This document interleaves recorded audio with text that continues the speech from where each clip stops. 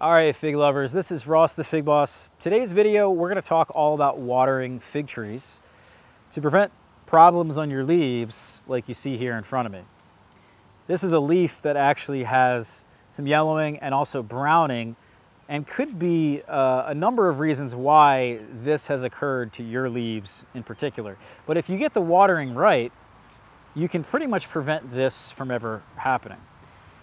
And I will argue that watering is going to change pretty drastically based on the temperatures in your environment in this current moment. And also it's going to change dramatically based on how healthy your soil is. If you have a really healthy soil, you're going to need a lot less water. Uh, if your soil is actually unhealthy, that's probably a sign that you've been watering too much. And there's a direct relationship with water in the soil and also the life in the soil, air in the soil, and the quality of your soil, whether it's clay, a sandy loam, if it's well draining, if it's not well draining, uh, if you have mulch on top of your soil. These are all factors that influence how much water exactly we're going to need. To give you the short and simple answer though, uh, during the summertime when it's really warm out, it's you know in the 80s consistently, higher 80s, 90s, hundreds, these are the times when we need to really increase the water to our fig trees. In particular, it's just so warm that they suck up water so quickly. And the fig in particular is very drought tolerant. In fact, one of the most drought tolerant fruiting plants in the world. But we need to have enough water to keep them obviously happy and healthy. But beyond that, there's a water requirement to keep the fruits on our trees. And that if we don't have enough water, actually, the fruits will fall off the tree. So that's a classic sign uh, of not enough water. And we probably need, on average, in those higher temperatures that I was mentioning, anywhere in the ground for an in-ground established tree to a gallon of water a day to five gallons of water a day. I think the sweet spot probably for most people is around two gallons of water every day. Um, in containers, we need a lot less because there's a lot less soil. But we also have to be very careful about watering them more consistently than we do our in-ground fig trees. Typically, we want to have less water, but more consistently. So not something that's drowning them every few days, but a little bit of water every day or every other day. In containers, we probably want to have per five gallons of soil anywhere from a quarter of a gallon to a half a gallon to maybe even a full gallon of soil every single day. I would say probably a gallon's a little too much. I typically stick with the five gallons of soil, about a half gallon of water, but it largely depends on how established your tree is. And it also depends on how many leaves the tree has. The more leaves, the more water we're gonna need. So there's a balance that has to occur and we have to be able to properly evaluate based on what our tree is telling us how many gallons or how many ounces of water we should be giving our fig trees. So the classic example and one of the surefire signs you'll see are these leaves here that are telling us really the full story. And so this leaf has that yellowing of the leaves. It also has that browning down there. And this browning usually is a sign that we have something called leaf scorch. And leaf scorch is basically when our fig trees don't have enough water in the soil, they really start to droop downwards. And once they droop downwards like that, you don't, if you don't perk them back up with water, the leaves are very susceptible to that heat, that sunlight, and that lack of water. The combination of those three things really starts to destroy the leaves. Um, and once the trees recover, they'll obviously perk back up. And then you'll see if there is damage from that event, too much stress leads to that browning there of the leaves.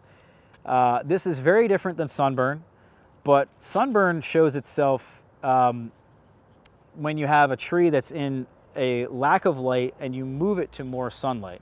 It's also very different than rust, which is also browning of the leaves, but those are in spots, very small spots that can show up in humid climates and almost never show up in dry climates.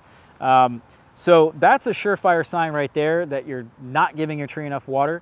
Also, you'll see the fruits fall off the tree, as I mentioned, not enough water. You'll also see the yellowing here, but this yellowing usually, and what's more likely for you guys out there, is your tree's not healthy, your soil's not healthy, um, and you have too much water in the soil and a lack of air in the soil, which leads to this yellowing here, and usually a rejection of some of the lower leaves.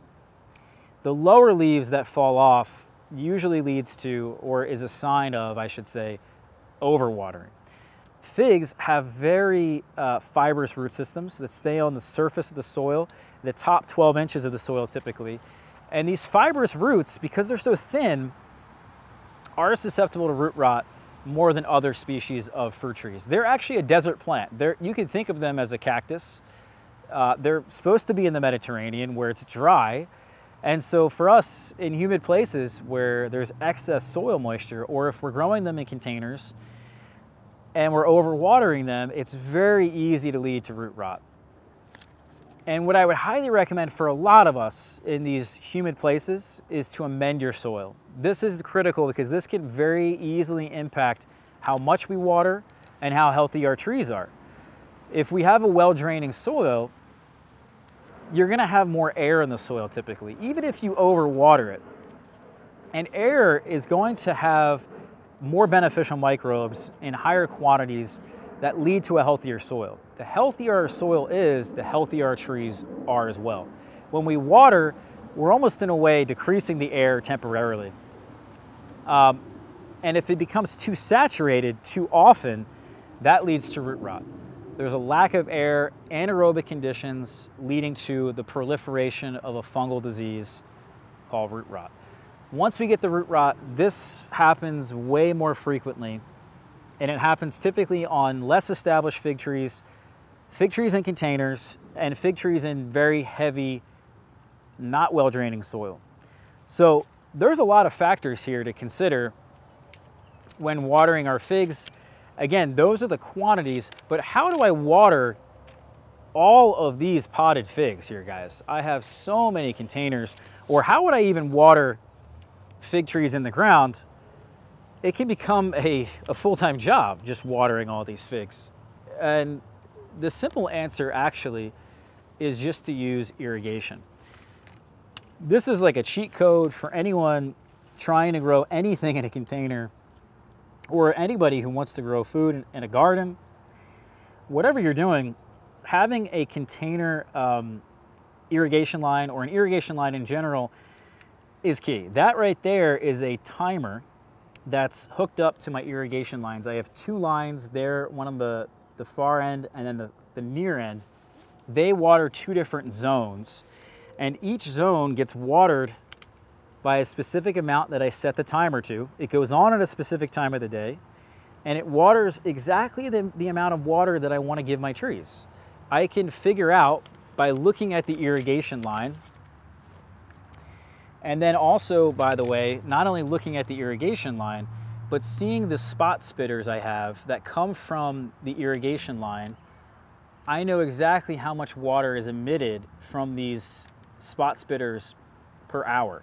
So I can figure out, based on the amount of time, uh, the amount of duration I water my trees, and based on these emitters, I know mathematically how much water I'm giving my fig trees every day. And I can easily tweak that. And so this becomes a very simple problem that I don't really have to think about. Once we get trees that are happy and healthy and it's consistently moist, uh, moist in the soil, we don't really have any problems. We can focus on other things. We can focus on getting our form set up, getting good production. And this is just a problem that I think a lot of people struggle with when they're first growing figs or first growing plants that you just have to get over, you just have to learn. And getting a green thumb is that key. And as I said, in all the things I've mentioned so far in this video, if you listen to some of the things I said, that's gonna get you that really green thumb to be able to know exactly how much water that's right for you. I gave you some of the guidelines. It's a good place to start, but we need to focus on getting that good soil, that good soil life, to then have a healthy plant. and then focus on that water. Um, so it's soil first, then it's water, then we can worry about the other stuff like fertilizer and you know uh, sunlight and form and production. Um, and so I thank you guys here for watching this one. Hit that subscribe button for me, guys. Hit that like button. Check out the blog figboss.com. We'll see you for the next video. Take care.